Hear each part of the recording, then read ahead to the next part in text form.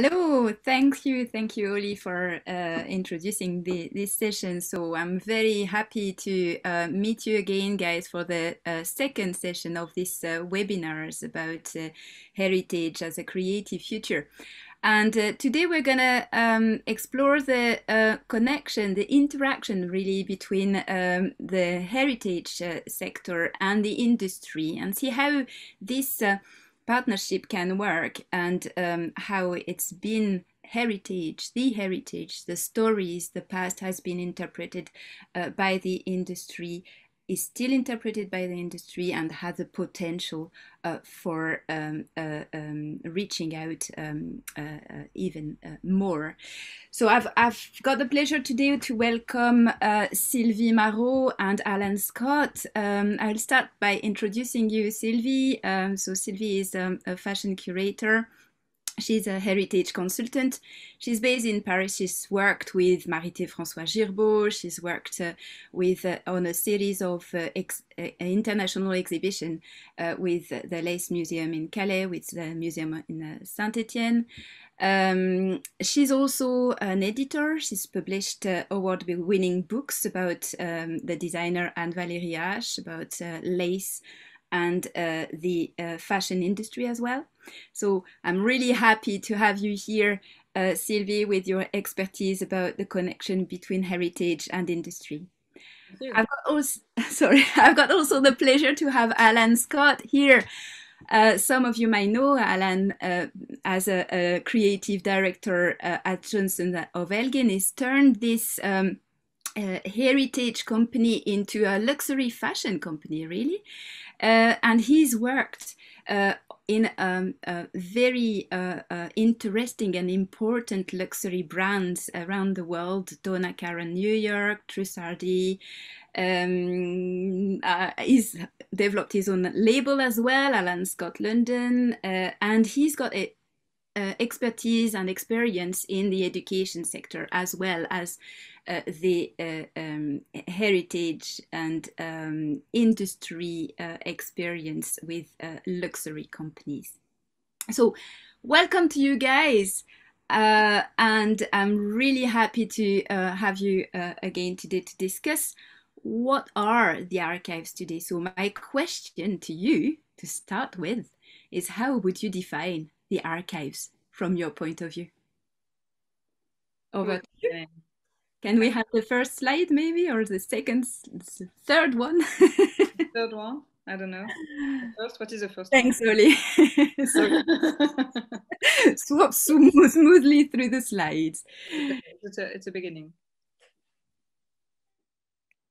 Right, so what is the definition of the archives? Um, well, I begin? Okay. Yes, of course. Um, because I'm girl, I know. Um, first of all, uh, what we are talking about when we talk about archives.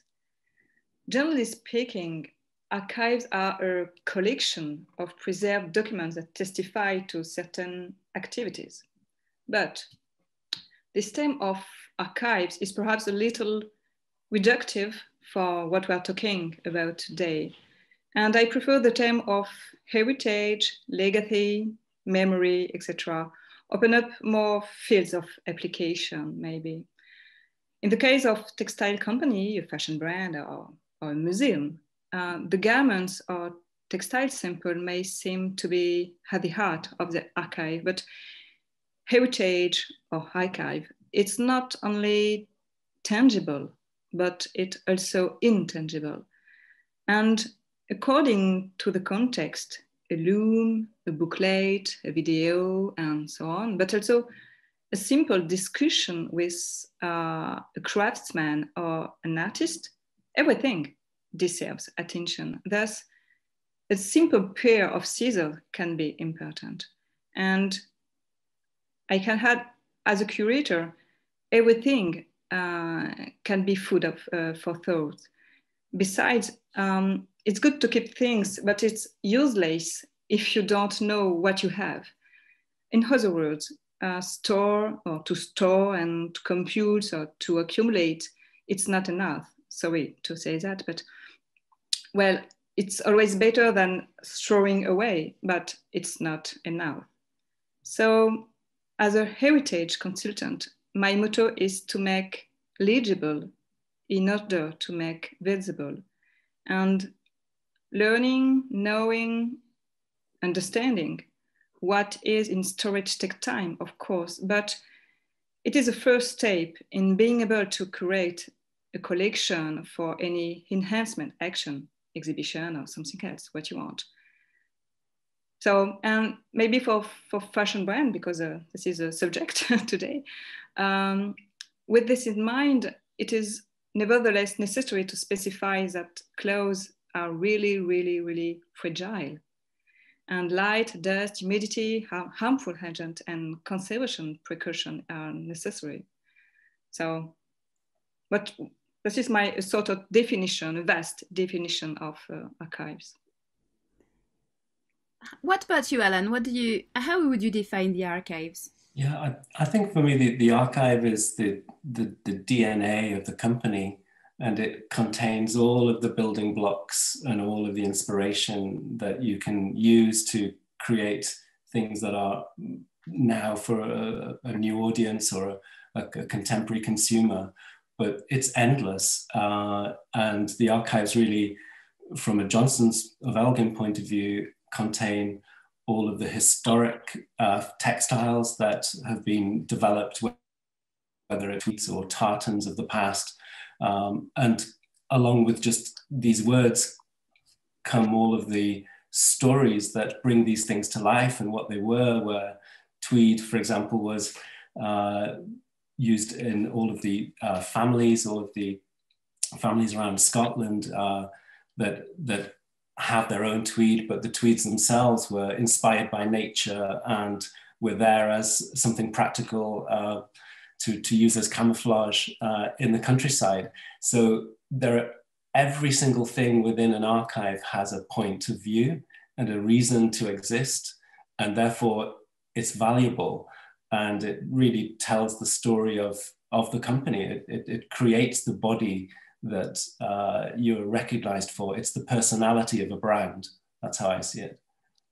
Eh, and if we look at slide two, uh, um, we will uh, identify how you can transform um, your collections, your archives, what you have produced as an industry uh, when uh, it's time to present that in a gallery. Um, can you explain a little bit more about this yeah. Uh, presentation, Sylvie? Um, this picture shows the first room of the exhibition L'autre jean, uh, the other jean in, uh, in English, created in Saint-Etienne in 2012. Um, in this case, we wanted to create an attractive display that engaged uh, visitors. It was necessary both to evoke and to demonstrate. First, evoke the stone wash, washing technique with slippery stone. And so we displayed in the center of the room a pile of stones and project a water video. Uh, this installation almost become a work of art uh, that the guard uh, had uh, to, to watch um, out for because visitors were stealing the stones. and then it was uh, to demonstrate how a pair of jeans um, is an object both ordinary and exceptional. The choice was to show them as a bas-relief, framed like paintings, and this simple and effective system created a distance, uh, a material distance, but also uh, in intellectual distance. Um, yeah. Do you want to explain as well what has happened uh, with, with regards to the denim jacket in slide three? Um, yeah. Can we have the, the next slide, please? Yeah. Thank you. Um, so, so, I have to quote uh, François Girbaud, who is speaking about uh, this, uh, this jacket.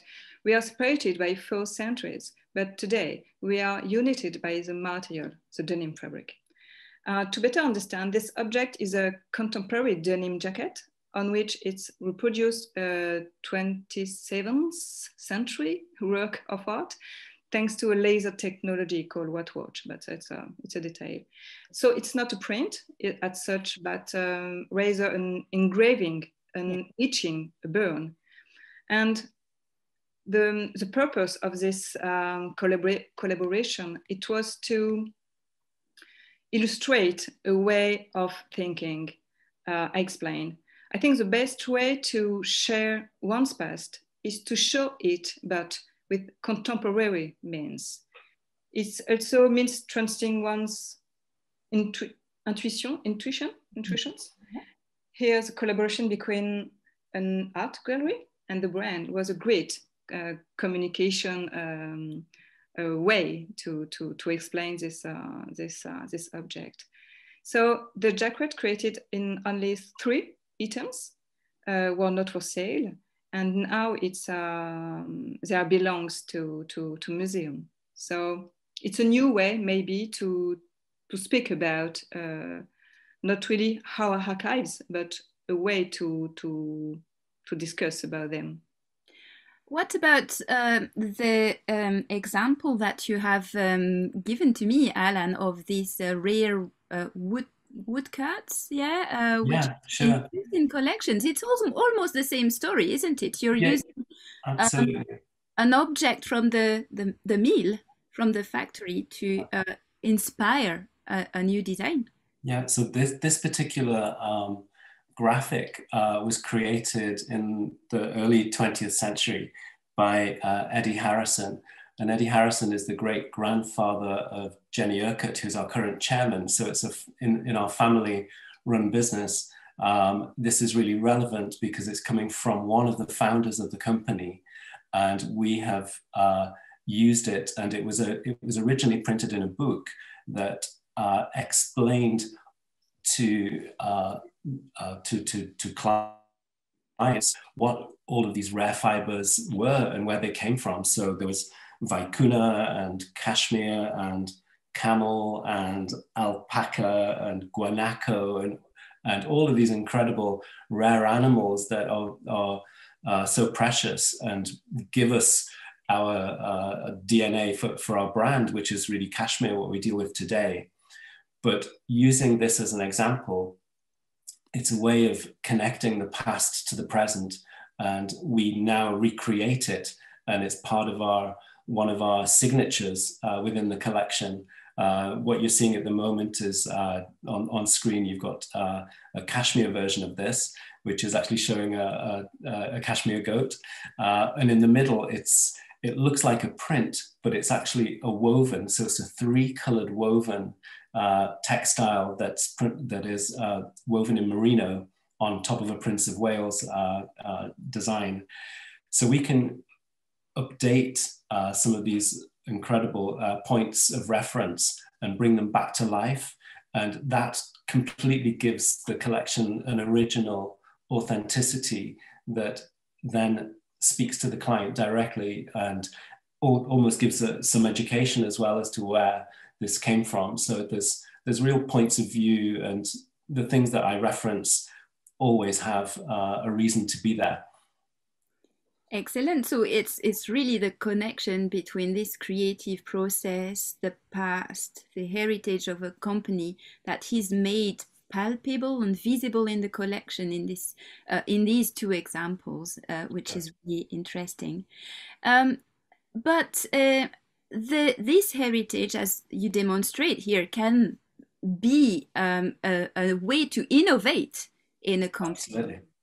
And this is something that you have been trying to demonstrate in the exhibition Art of Lace, Sylvie. Uh, thanks using the samples of uh, the uh, lace collections. Can you explain a little bit about that? Yeah, so the exhibition Haute Dentelle, created as the Lace Museum, was to highlight a local industrial heritage whose savoir-faire is huge, but the industry is really fragile. And I wanted to make the supplier designer relationship understood by showing the creation process. So by asking a simple question, but who inspire whom? Uh, as a starting point, I allowed myself uh, a double answer, a dialogue between manufacturer and fashion houses. And there's a sort of revelation in this exhibition thanks to uh, the samples displayed next to the clothes. And by the way, it's quite unusual to mention the supplier, to show the raw material. And I'm proud of this documented work. And the amateur or expect public has been aware of this approach. And I had to ask to the supplier, um, gain the, their trust too, mm-hmm. and get all the required authorization from the fashion houses. It was a long, very long process, but the result was uh, worth it. Uh, and moreover, this question helps to define the concept of collection, mm-hmm. innovation, mm-hmm. creativity, exclusivity, uh, at the end, research and uh, development. It made me think, Alan, that uh, you're a little bit in between. You're a, a, supplier in places with the production of cashmere knitwear, and you're also uh, the uh, producer of uh, fashion collections. So yeah.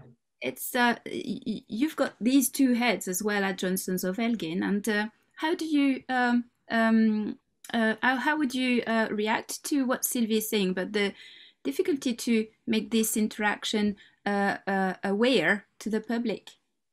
Yeah, I, I think that um, it's it's using the the current platforms of communication uh, to explain uh, sometimes these relationships. Uh, so within the industry, um, we use the our own brand collection uh, to demonstrate all of the new techniques and all of the innovation and all of the, uh, the reference points coming from our own heritage. But then that becomes a platform for other people and other brands who want to work with us uh, in a private way to see, well, actually, this is what they're doing, this is cutting edge. We would also love to uh, do something in that uh, way. And so we use our own um, our, our own creations almost as, as, as a platform, as a, as a showcase. Um, and it's the same principle uh, that, that, that we're using, and therefore it creates business throughout the business, throughout the fashion business. And so, you know, working with other brands actually helps us uh, move forward and innovate. So it's actually the, the collaboration of all of these creatives uh, really keeps the technology up to date and it's really fantastic. And um, the the connection between um, the collection, the uh, creation, innovative creation of new collection and archives is also something that is um, demonstrated um, in uh, um, the collections of uh, Marithé François Girbaud. Um, so if we, we can have the next example, Sylvie, you've identified a, a, a denim trousers, which has been uh, engraved with uh, a vintage trousers and becomes a, a, piece of art at the same time. So it's kind yeah, of it's uh, a, it's a bit in the middle actually. so it, it's little like the jacket uh, previously seen. These overalls on which are reproduced the traces of a pair of pants evokes modernity. This other pants, so it's called genuflecteur. So the French word genuflecteur means bending the knee as a sign of adoration, of submission. Maybe it's a sign, I don't know, because one, one of the Girbaud's uh, characteristic is humor. So some, sometimes it's difficult to, to know what exactly is the intention. But the cause of uh, overalls, the working clothes of the cold dingers worn down to the rope are here reinterpreted, except that here the context is changed, of course, and it's precisely this shift that becomes relevant.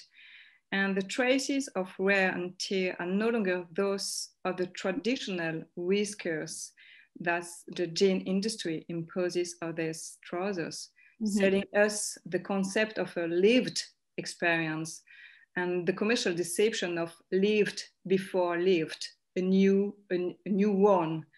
And i dare say because here um, i think here it's a little more subtle. It's a kind of mise en abîme trousers in trousers in trousers and etc and etc and maybe the femininity here it's uh, it's uh, interesting. Mm-hmm. yeah i mean this designer becomes uh, inspired by its own designs. It's uh, it's a kind of interesting process that is uh, um, happening uh, more and more now. Uh, and uh, in the past um, of, um, of fashion, um, can we um, can we speak a little bit about what you've been doing with Anne Hache and the presentation of her collection in um, this fantastic beautiful exhibition in Calais.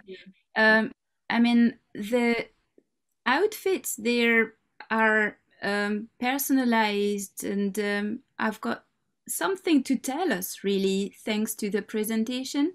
Can you explain a little bit about that? Yes, so the décrayonné, it is a name in French. There is no translation in English because there is not an, a real word, décrayonné, but you can say undrawn if you want to understand.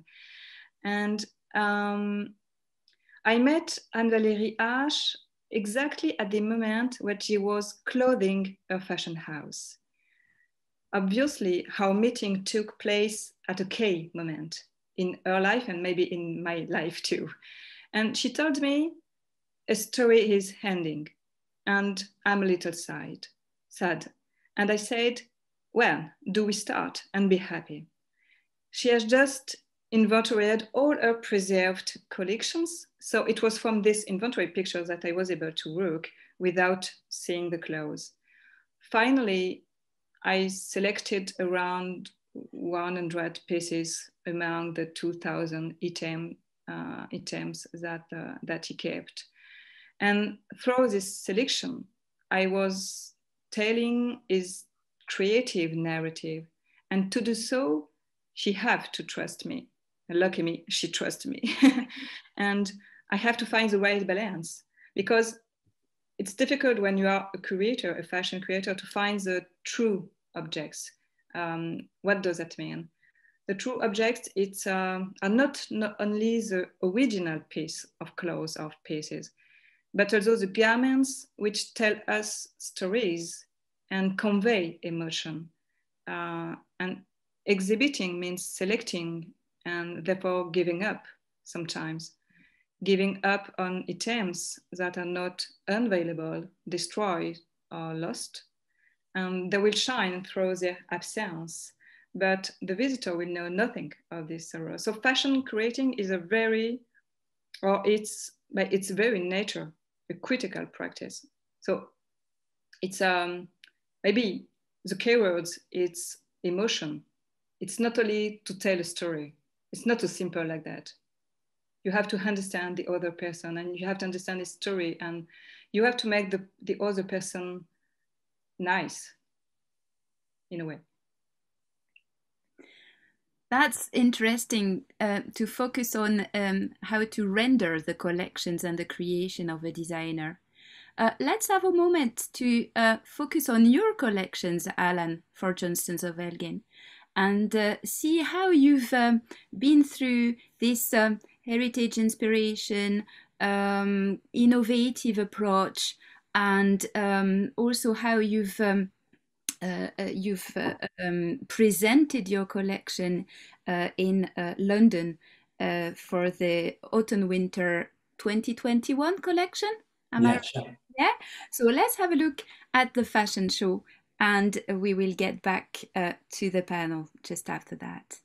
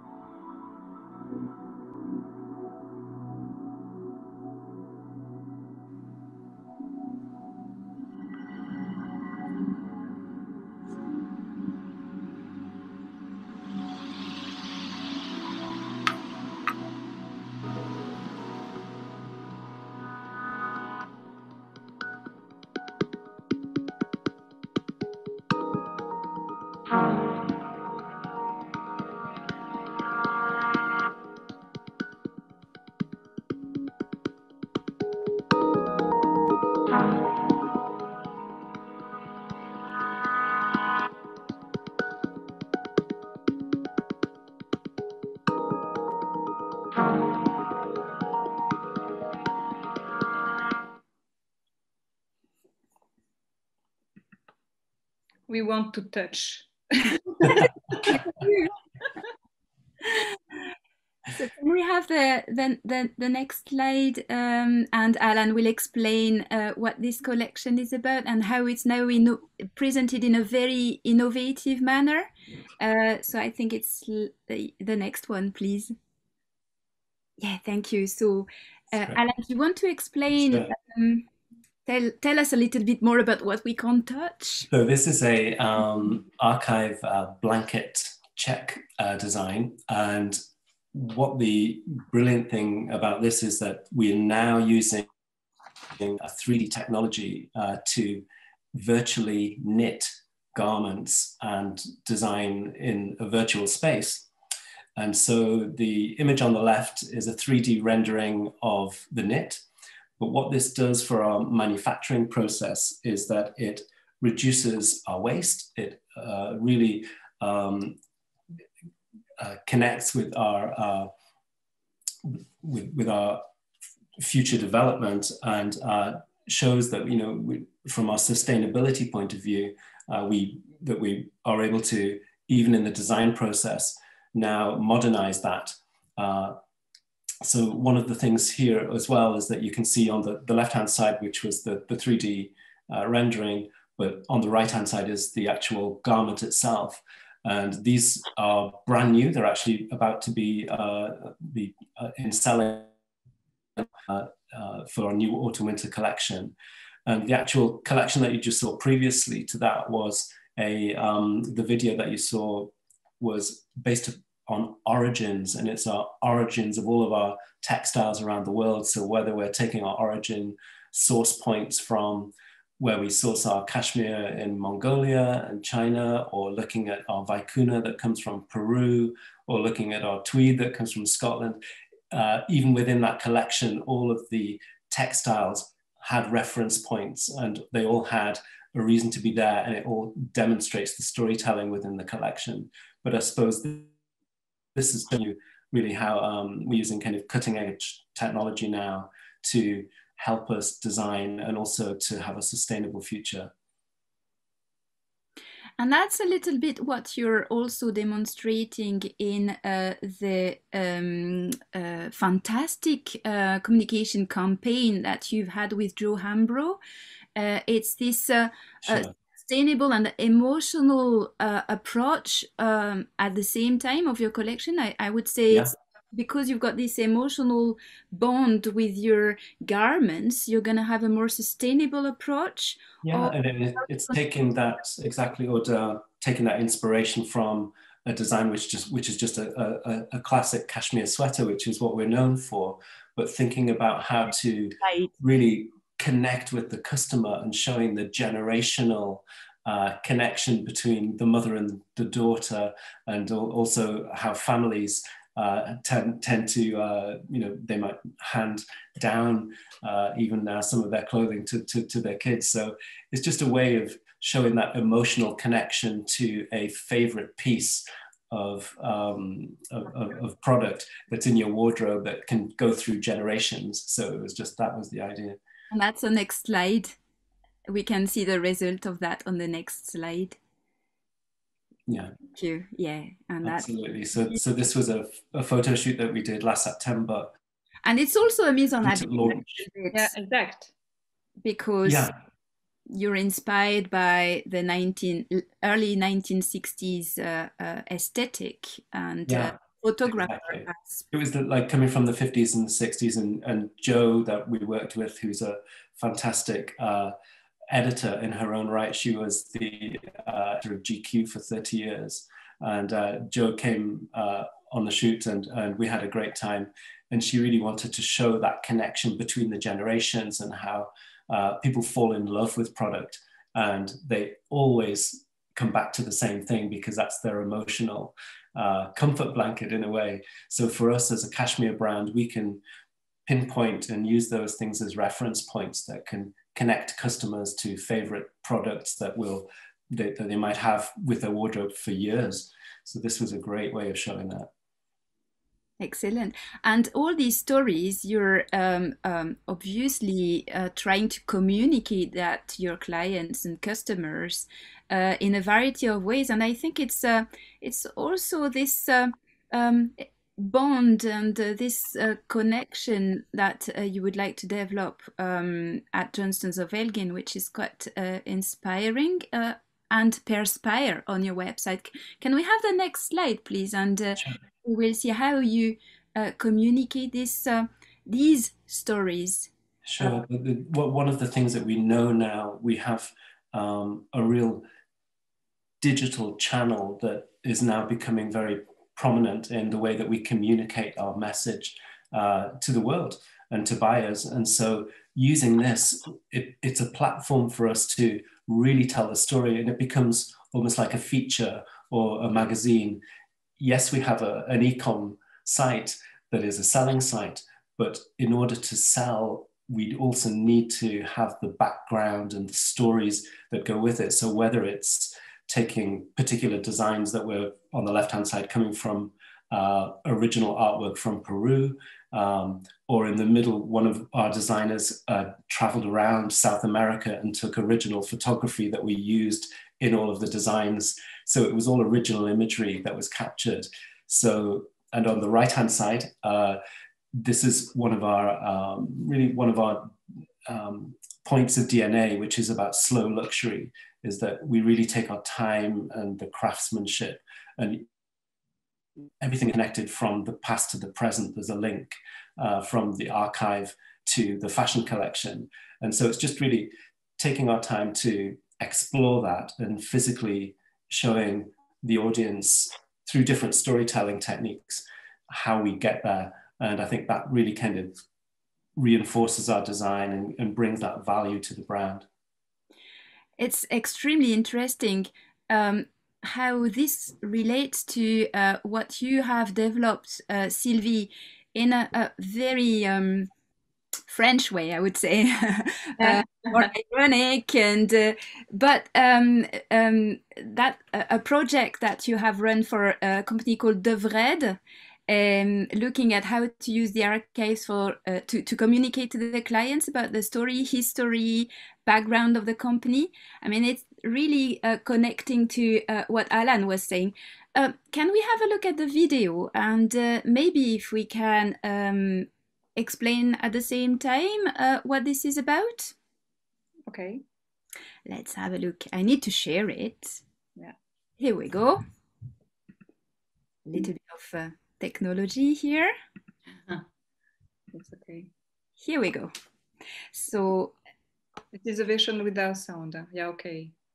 Over to you, Sylvia. Yes, Do you want without to sound? Okay. So the the always the same question is how does brand in quest of their founder's identity reinforce its storytelling thanks to uh, video based on business archives and i suppose um, how how saying that? Archive it's a powerful we, we know that of uh, communication. It's a communication label. And fashion heritage will never has been in vogue. And here it's a sort of um, a mix, I would like to say a clever mix of a, a, long work of research, of relevant visual documentary sources, of course, such, uh, so, such as personal archives, photography, postcards, sales catalogs, architect's plans, etc., etc. Plus I hope so a good work of, of writing, and you helped me a lot for this project, plus a graphic work. And once again, I think it's how you can say the things of the past with, with today's words. And I don't know who says that, but to be modern is to be turned toward the future, isn't it? So mm-hmm. I think this is, uh, if I have maybe um, an idea or uh, tools to, to give, it's please don't let your archives sleep because they wake up like the sleeping beauty princess as soon as you love them. Mm. And it's true for all the sort of industry, of course, fashion industry, but not only. And sometimes you think you have nothing. Oh, okay, I'm nothing. Or you think you have a lot of things and just just a poor uh, piece of uh, of paper. And after we have to find. And I would like to precise something. Um, in this sort of project, uh, we have a lot of um, person, um, the, le président, the, the, the comment dit PDG, the, CEO, the CEO. Yeah, yeah, CEO and the person of the communication, and they everyone have um, an idea about what is the project, but it's not so simple. And at the end, the documentation is the truth imparting instruments uh, of the of the project, and everything. The, the point of um, the starting point is always the truth. It's important for me when I, because you can say, yeah, you are your storyteller and you you tell something not truth. No, for me, the, the real start. Uh, it's the archives themselves. Exact is the documentation, and after we can talk about it, and we can tell a story, a good story, of course, because we have to say we don't. Uh, we we know that, but um, it's important for me. Alan, what do you want to add? A last word be before? Yeah, I, I, I think I, I, totally agree with with with Sylvie, and I, I think that it's that it's that authenticity that uh, gives the, the, the value to archives and really propels them now into a context that is so relevant uh, to collections in the future and the the inspiration can be endless. It really just is it's inspiring to just think how you can develop from them. So for me uh, absolutely that authenticity because it's real there's a genuine a thing there that really gives it that um, uh, point of view that uh, makes it important, and that's what makes it relevant. And mixing the the historic with the newness or any kind of cutting edge techniques like the, the things that uh, we do at Johnston's, but also as Sylvie was showing with the with the laser techniques, that's what makes it new. It's the juxtaposition of these two things that makes it wow. And so uh, that's for me the, the, the beauty of this.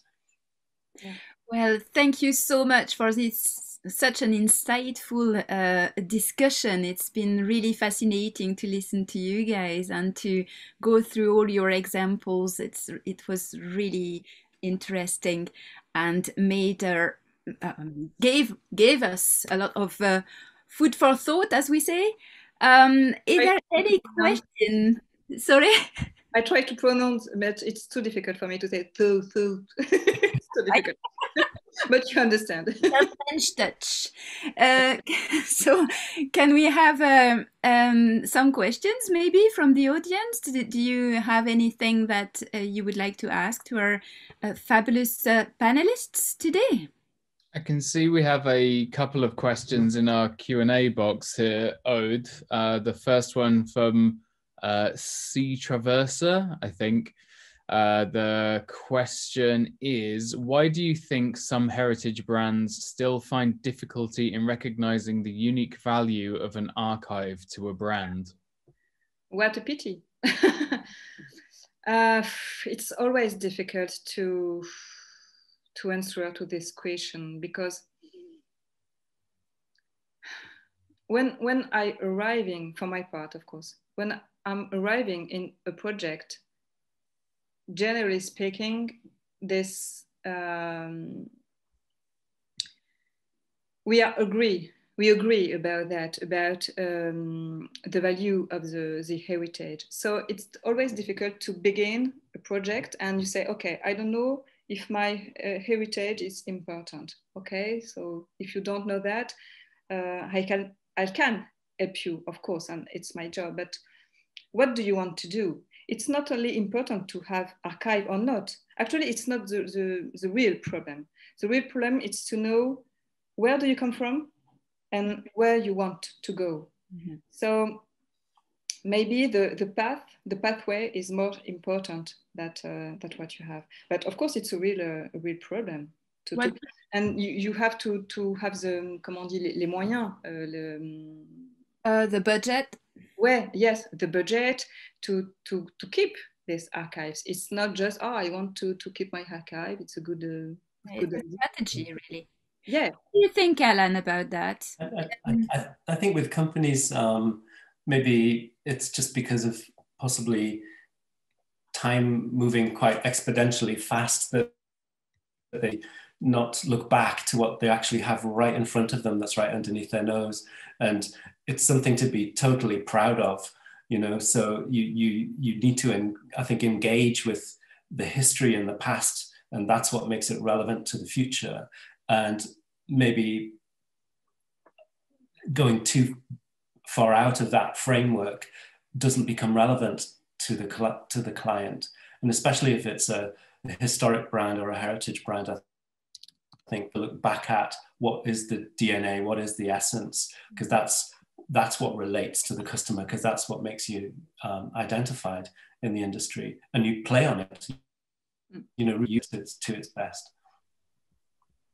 And that's where potentially you need the um, heritage sector to support you or um, professionals um, which um, who, who have got the expertise and experience in uh, uh, heritage conservation and, um, and, and I think it's, it's, it's, demonstrating that and, and Sylvie definitely had, had, has that and does, does that in all of the projects that she, she works with there. And for us too it's about you know having different outputs whether it's a film whether it's a book whether it's some engagement that always brings this subject to the front because it's the subject that is the catalyst uh, to to connect everyone together. So I think it's it's very relevant. Um, I, I believe we've got uh, time for uh, the other two questions, Oli. Is that all right? Uh, yes, it was uh, just a, a, kind of a, um, uh, a, a chip in on the uh, the conversation about archive from uh, one of our attendees saying surely the archive is a resource and needs to be seen as that. It is an investment in the future. Yes, absolutely. For sure. Um, and then we had a uh, another question here again from uh, another one of our attendees. I can't see a name here, but says um, I'm interested in the reduction of waste in the fashion supply chain. Uh, are you saving? Are you saving sampling or yarn or both or something else? They're interested in the uh, in the the waste of uh, fashion supply chains, which is not directly connected to our discussion, but uh, I know that Johnstons of Elgin is really a sustainable brand. So do you want to? Yeah, yeah, sure. I think the the demonstration just in the um, in the design process of what I was just showing you there with um, being able to design in this way eliminates excess waste through the process, and so it reduces the sampling costs, it reduces our overheads, and makes us more profitable because then we can invest back into the archives and invest into presenting the collection in a better way. So the, the, the waste uh, theme, of course, is and subject um, is real uh, through efficiency through most of uh, brands, but also from an ethical point of view about uh, the, the use of uh, keep, keeping all of our footprint to its minimal and using you know, very minimal uh, extra um, chemicals and things. So it really goes into all of the, the different uh, levels of the, the, the, vertical nature of our business. Uh, we, we look at that on every level uh, to try to do our best. Thank you. Um, there's another question here um, uh, from Karen Buchanan. Um, any advice for small museums and archives on approaching industry with ideas for joint working?